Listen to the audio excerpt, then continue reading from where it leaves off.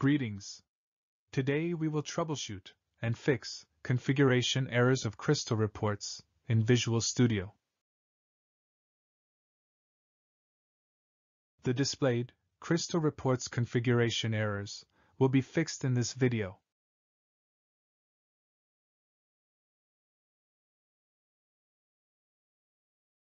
Here are some of the main causes of the error. Let's explore the possible fixes.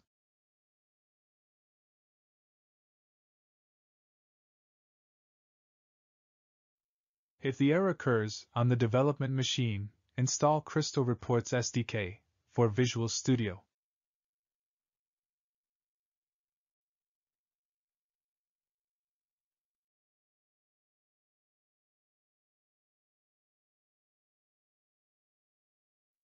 Reinstall Crystal Reports packages.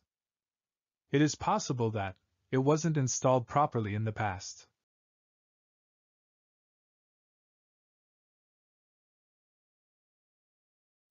Sometimes, when working on a shared project, you may need to upgrade the Crystal Reports runtime to match your team's version.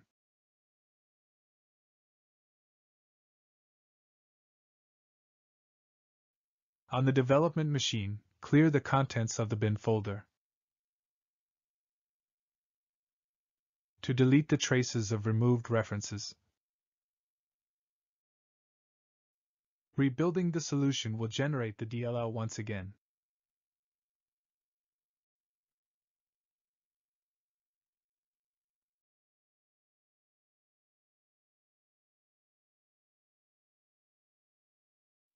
Ensure the correct versions of all the Crystal Report references in the project.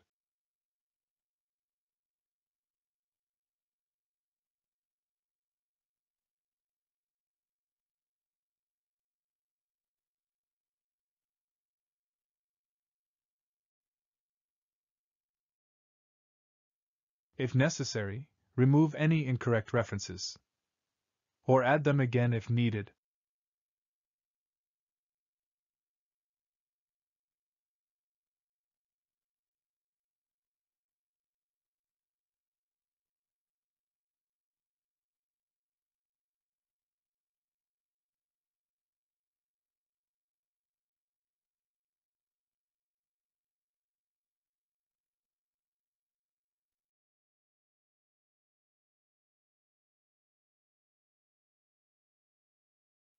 First, verify the installed version of Crystal Reports on the development machine.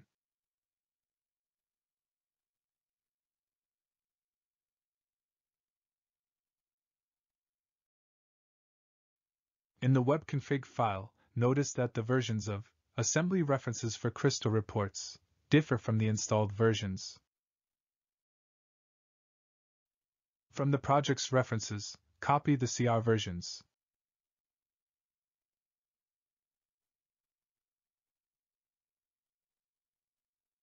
Replace all the occurrences of CR versions in the webconfig file with the copy version.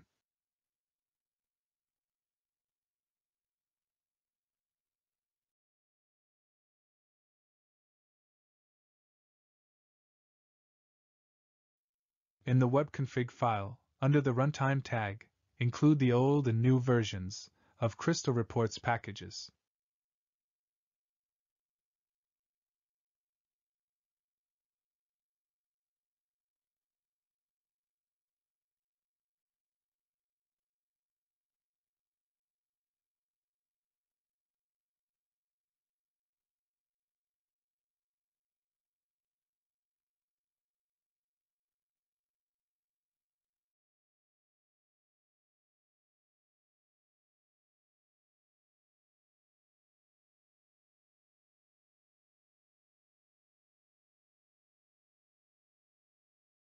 If you are working on a project with legacy frameworks, add support for the legacy framework under the Startup tag in the web config file.